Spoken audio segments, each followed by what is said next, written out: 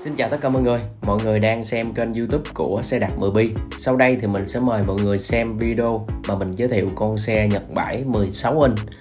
Con này thì nó có cấu tạo khung sườn đó là khung nhôm và ngoại hình nó khá là gọn và nhẹ.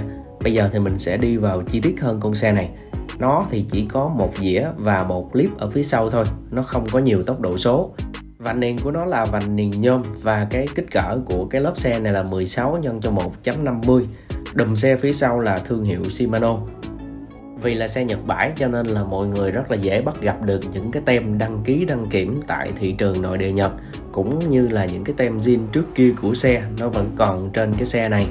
Khung sườn thì nó có cái đoạn ờ, chỗ này, mọi người có thể tháo ra tháo ra như thế này. Mọi người xem video là có thể thao tác được rồi. Khi mà mình bật ra mình bật ra ngoài này, mình nâng lên một tí để mình có thể ờ, xếp cái khung sườn gọn lại. Còn cái thao tác ráp lại nó cũng rất là đơn giản. Như mọi người nhìn cái ờ, ổ trục ngay cái chỗ xếp đó là mọi người cũng biết cách thao tác rồi. Màu sơn của con này là màu sơn zin và nó còn khá là đẹp. Tức là nó cũng có trầy xước nhưng mà không nhiều tại vì cái màu sơn zin thì như thế này là đã ok lắm rồi. Còn nếu mà ai không thích đó, thì ờ, về mọi người có thể sơn lại. Nhưng mà mình không khuyến khích cái việc đó tại vì màu sơn này như thế là đã đẹp nếu mà sơn lại thì nó sẽ hơi mất giá trị của chiếc xe. Cấu tạo khung là khung nhôm và cái càng xe phía trước này thì nó bằng thép Guido vô tăng là bằng nhôm và cái ngoại hình của Guido vô tăng này còn khá là đẹp. Trên đây thì nó còn được cái ờ, chung chuông zin theo xe luôn.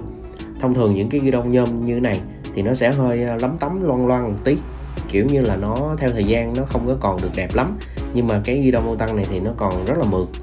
Ở đây thì mọi người có thể xếp gọn lại cái à, ghi đông này đây, ngay chỗ cái bô tăng mọi người nới lỏng ra theo ngược chiều kim đồng hồ. Rồi sau đó mình kéo ra là nó có thể xếp lại thôi. Đây, như thế này. Rồi khi mà mọi người muốn ráp lại thì ờ, làm ngược lại với cái thao tác ban đầu. Mình sẽ vặn cho nó đi theo cái chiều kim đồng hồ. Nhưng mà mọi người chú ý là vặn nhẹ vừa tay thôi, nó không có bị sức ra đâu. Tại vì cái ờ, cái đồ vặn đó đó thì nó bằng nhựa. Nếu mà mình vặn cứng quá thì mình nghĩ là có thể nó bị gãy phụ tùng của con xe này thì đa số là nguyên bản. Nó chỉ có cái phần là yên xe nó bị rách cái da yên. Cho nên là cái da yên xe chỗ này là đã có bọc lại da rồi. Mình đang ngồi thử trên xe cho mọi người xem.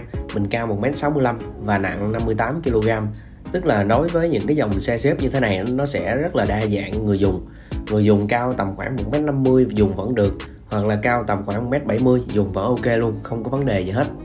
Đây là cái ngoại hình phía bên còn lại của xe xe này thì nó có cặp dây chắn bùn bằng nhựa, theo xe luôn. Vì là xe Nhật bãi cho nên là trên xe nó còn được những cái tem đăng ký đăng kiểm tại thị trường nội địa Nhật giống như thế này luôn. Đây, ngay chỗ phần ống đứng của xe. Nói chung thì nãy giờ mình đã giới thiệu tất cả mọi chi tiết phụ tùng của con xe này rồi.